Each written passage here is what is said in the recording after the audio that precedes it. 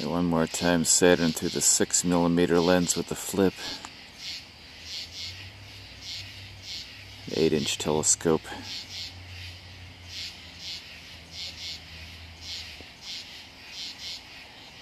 We're at approximately 300 feet above sea level elevation here in Memphis. So we're still looking through a lot of the Earth's atmosphere. If we were in Colorado, we'd be able to really increase the magnification and see a lot more. But this is still awesome what we're able to see here.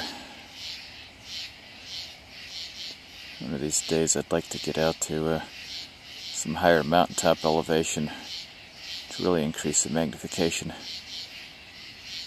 But for now, again looking at Saturn, 48 known moons, Titan's the largest. It's 900 million miles from Earth and from the Sun at this time. And the rings are uh, in the plane of its equator, and the moons also orbit in the plane of its equator.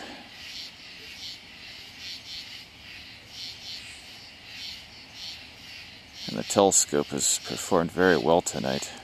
The bugs, for the most part, have left us alone. So for that, we're grateful. And the time is approximately 11:30 p.m. and Saturn's starting to move toward the western horizon.